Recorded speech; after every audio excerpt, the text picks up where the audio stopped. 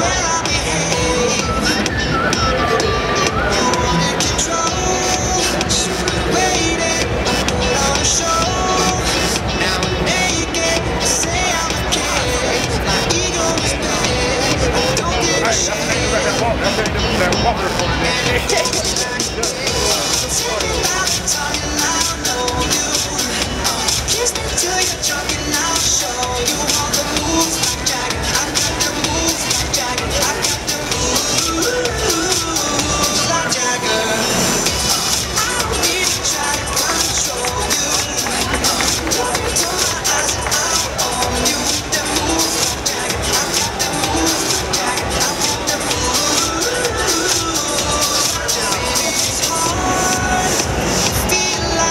talking about.